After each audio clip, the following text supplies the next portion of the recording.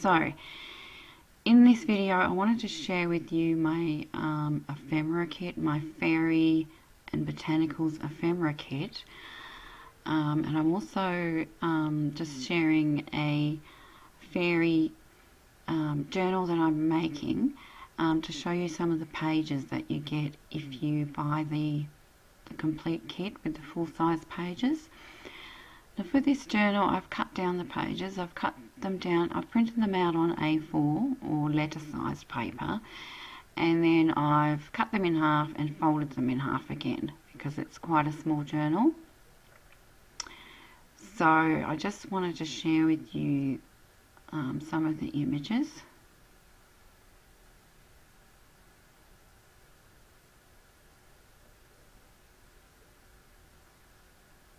Beautiful butterflies. This kit is, um, well, as the name suggests, it's fairies and botanicals. So that's the whole theme. Butterflies and gardens and um, some uh, oh, dragonflies, sorry.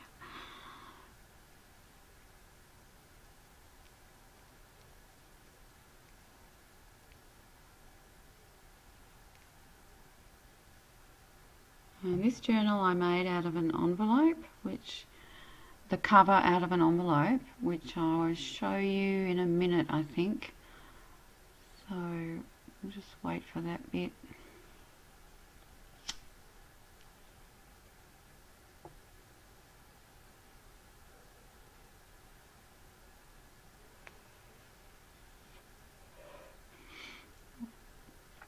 Okay, so that's one of the journaling cards also that I've got on my cover. But it's a very fairly big ephemera kit. You've got two little mini cabinet cards um, there with some beautiful fairy images. Some more journaling cards.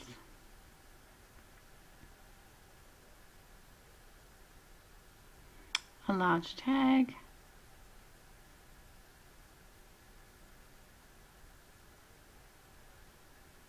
Beautiful vintage images there. And then the, those are four little mini bingo cards with fairy images. These are album pages. Um, there's six of those that I've resized down to make little mini journal cards. And then I have some other little cards with botanicals on them. And some more little cards with butterflies.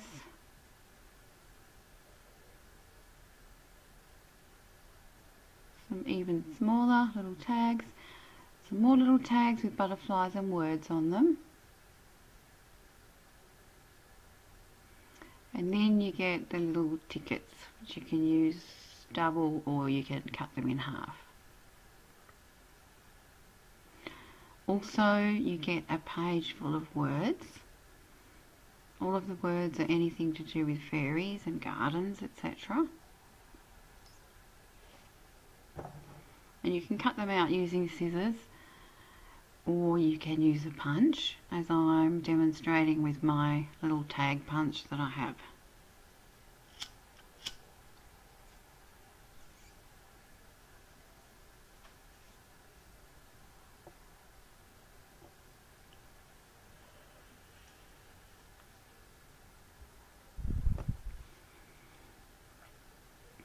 And there you have it.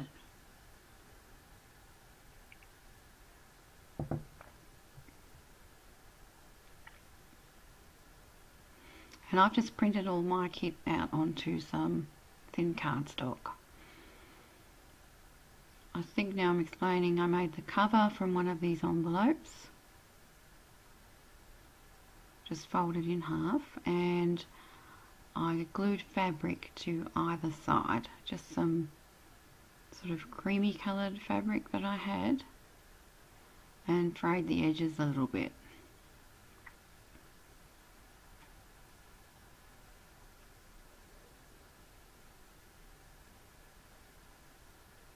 this, this is going to be my personal fairy journal. For those of you who know me, you know that I really like fairies as well. I do have a Facebook page, um, which is fairies, so I'll put the link below. Now these little envelopes are teeny tiny little envelopes with uh, little pieces of paper that go inside. And I'm going to be making some of these and selling them in my shop because I have a little die cut. Um, so I thought why not share them? So I'll probably sell them in packs of say 10 and add those to my Etsy shop which I will link below. They are so so cute. You can leave them plain or you can write on them or whatever you like. Stamp on them decorate. Um, they're just a really cute little embellishment. So I'm just going to ink this one up and um, these ones I have cut out with some kind of grey blued paper because it fits in with the um, colours of my journal. Um, but I'll also in the shop I'll be doing something on plain white paper on book pages on um, craft paper also and tea dyed or coffee dyed paper. So have a look out for those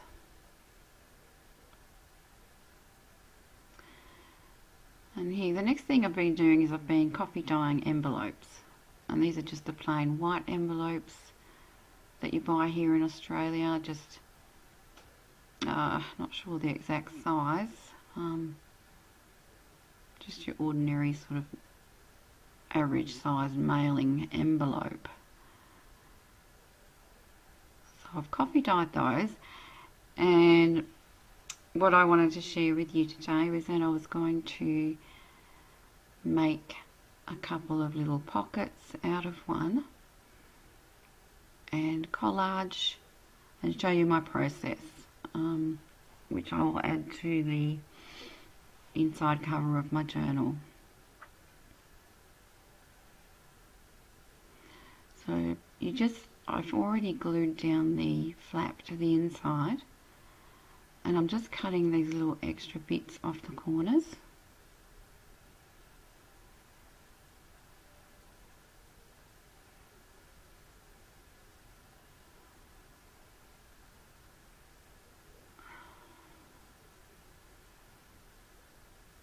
um, back to that envelope um, I think I'm explaining that I'm going to make another journal soon an envelope one but I'll be making it um, a leather look cover faux leather and I will show you that process in my next video. And I'll probably use my other fairy kit you see there um, fairies in my garden um, plus a mixture of that one and probably this one as well the other fairy kit as well and so that may be my next video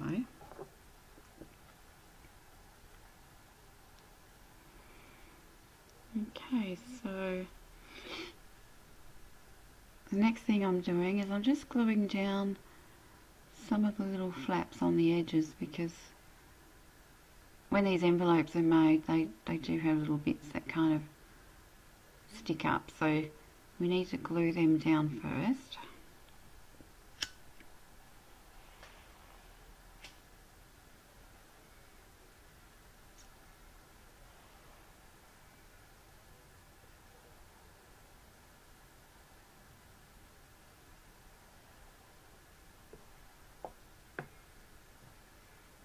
And now I'm going to cut it in half.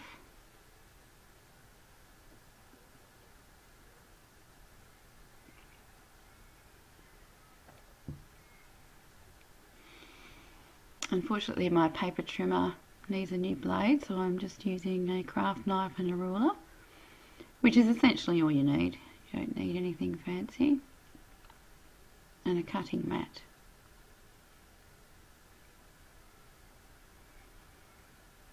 So now I will glue down any other little little bits that are sticking up and then glue down the sides to create a pocket.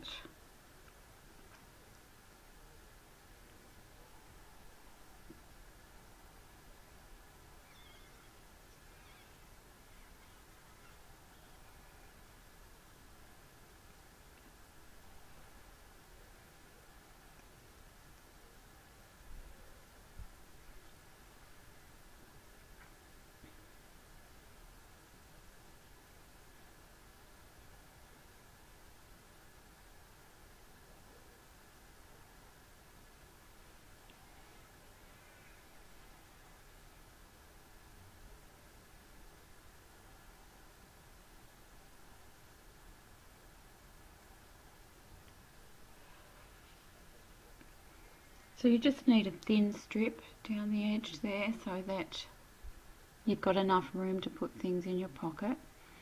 And I'm using, it's a white PVA glue that I've mixed with a bit of water.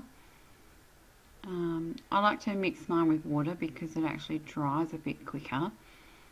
And that's how you make Mod Podge. So I use about 60 to 70% white glue and 30 to 40% water.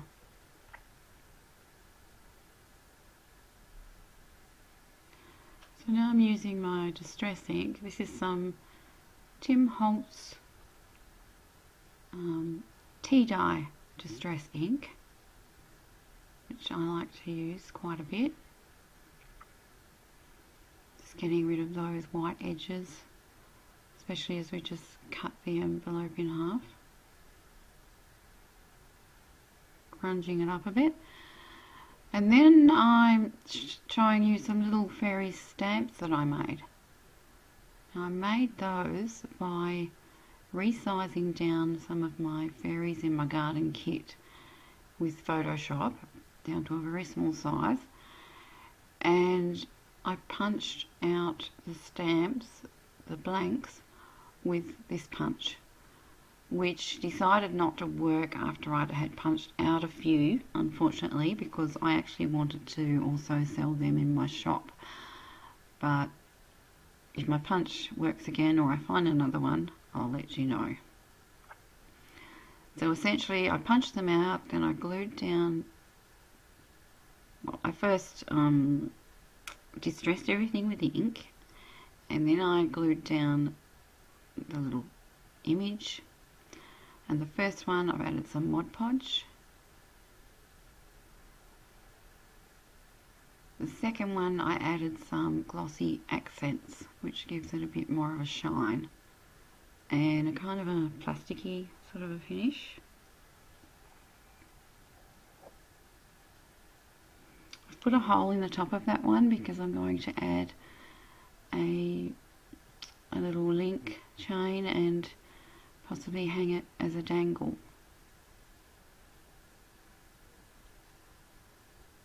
Okay, so back to the pockets.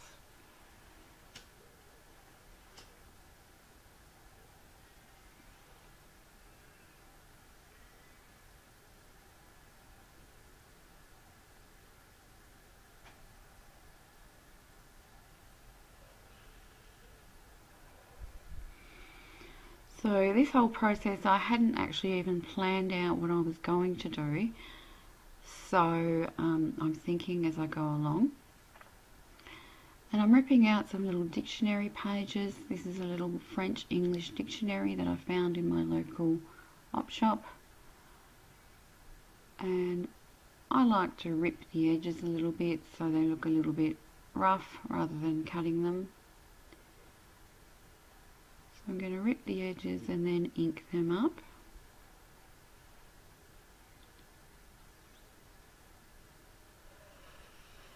to give them that distressed age look that we all like, the vintage.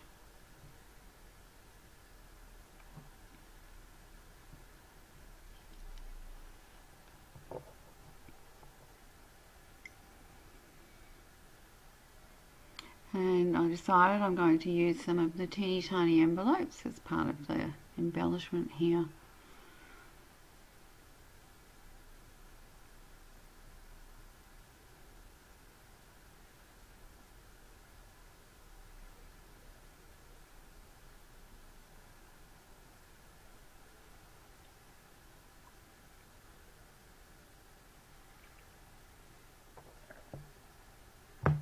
Think I was saying in this video that, um, and I just said it again, um, I realised that I say um a lot when I'm making a video.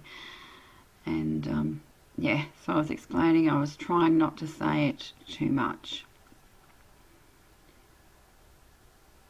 So I'm using the two little cabinet cards, the cute little fairies on them, and um, yeah, just deciding. I decide to use a couple of little tickets as well.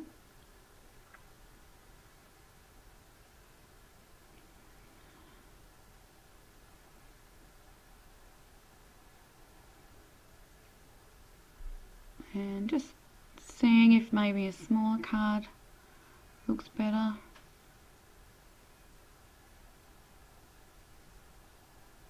Then no, I decide the slightly bigger ones look a little bit better and that one's maybe too big.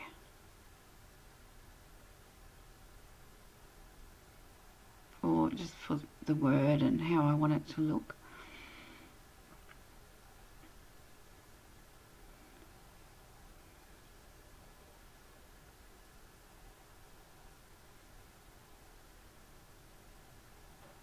and I don't actually have a sewing machine at the moment so unfortunately so I'm doing a lot of gluing and a bit of stapling.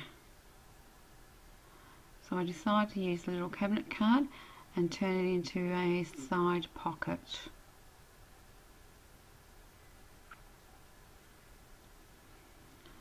So I'm sort of you know just messing around and collaging everything onto the um, book page, the dictionary pages, before I actually glue the whole lot down.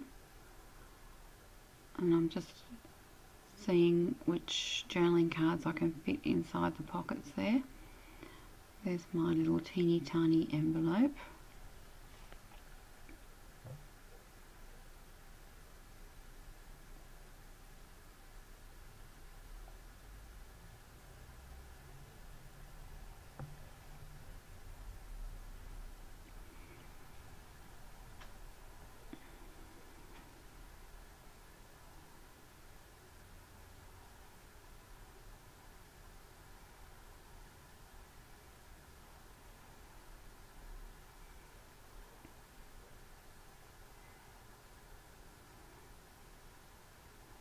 Had a, a little bit of this um, sort of bluish tulle material which is quite pretty and I think fairy-like um, and I thought I might try and use some there but I think I decided against that in the end.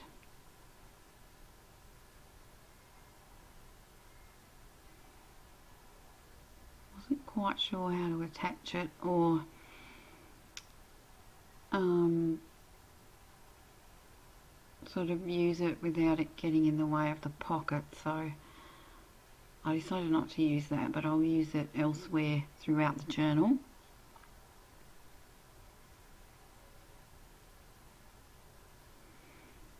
And then I found this little lace trim that I had decided to use it on the edge of my little pockets and because it was just stark white I actually end up inking it up with a little bit of the tea dye ink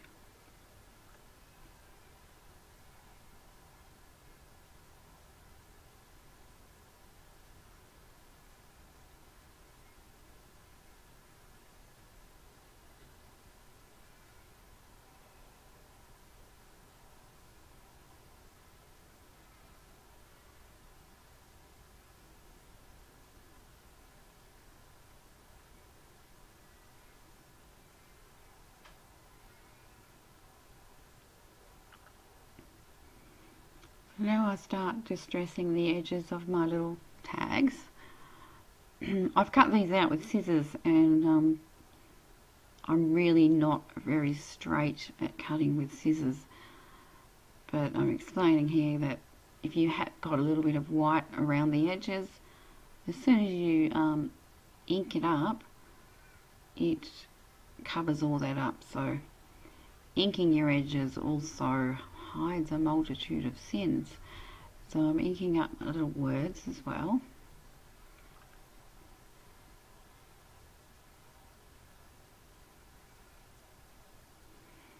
And you can ink it up just around the edges or all over. Depends what look you're going for.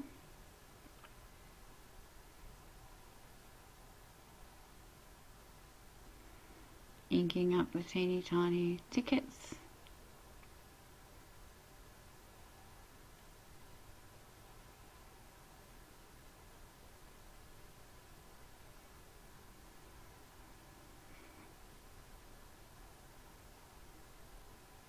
Still deciding where I want to place everything.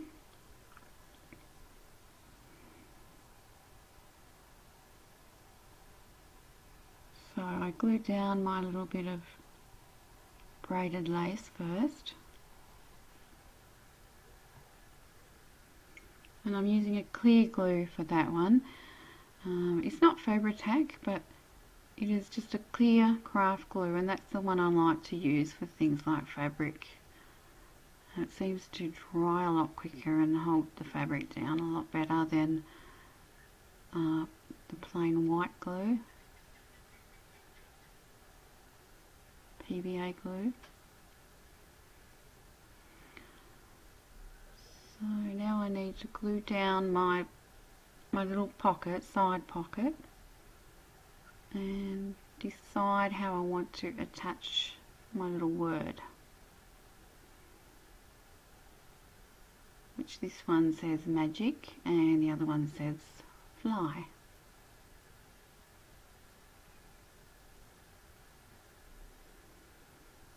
And a lot of the little words in this one for me are like as little prompts for or inspiration for writing or thinking about what I'm going to write. And they're all to do with fairies and fairy lore and excuse me and um, gardens.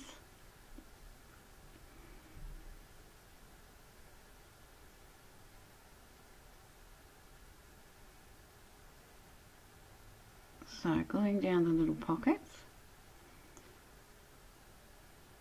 And then what I did was I decided to staple the little words. So I'm just stapling them. I end up stapling them on an angle.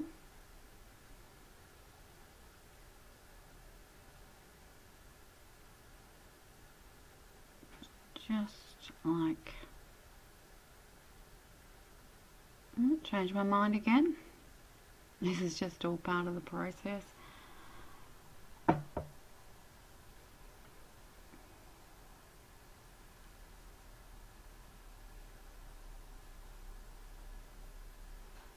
Okay, so there we go. It's a good idea to try out different layouts. Um, let's see what you think looks pleasing.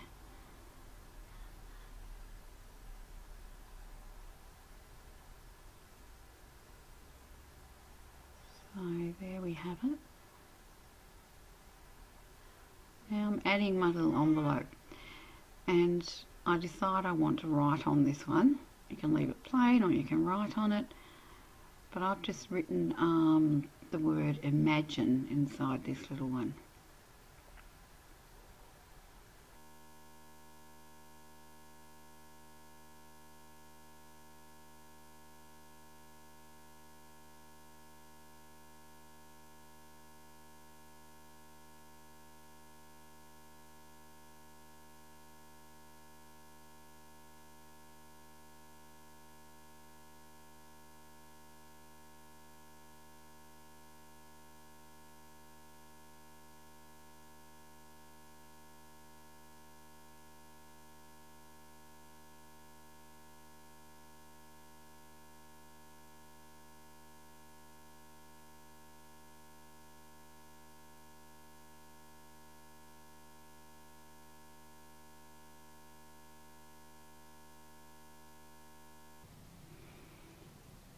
Now I'm just gluing the whole lot down onto the envelope pocket.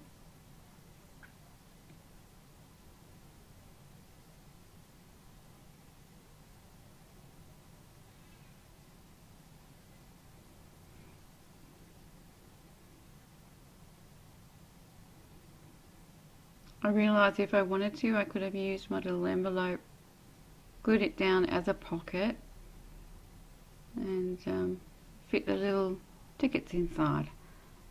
But then I decided not to do that. And I yeah decided to tuck it behind my word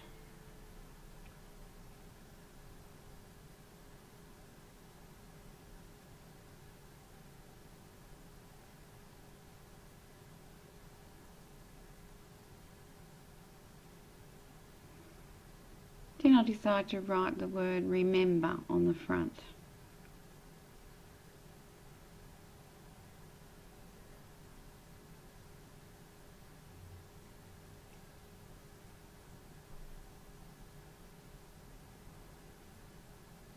Thinking about adding a little stamp.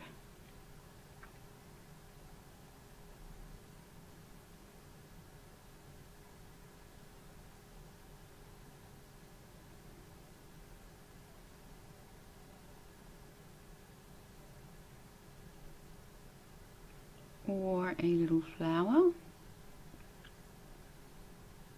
which does look nice but I'm going to use those ones on the cover so I decided not to use that here.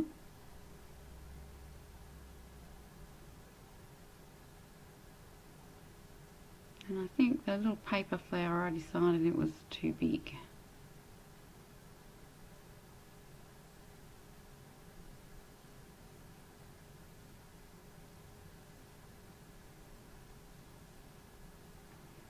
So I move my little envelope to the other side.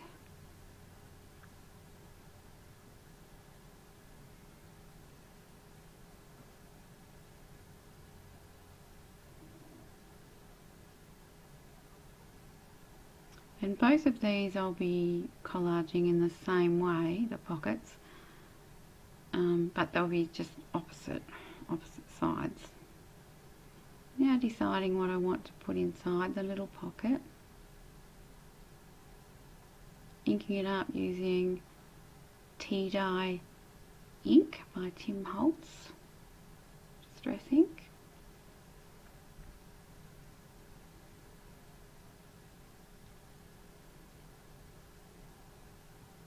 And I think that looks pretty cute.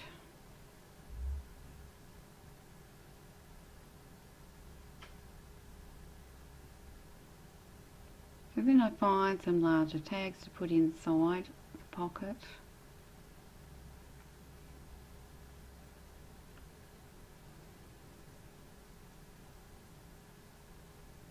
From the little fairy ephemera kit and I'm going to glue it inside the front cover of my little journal.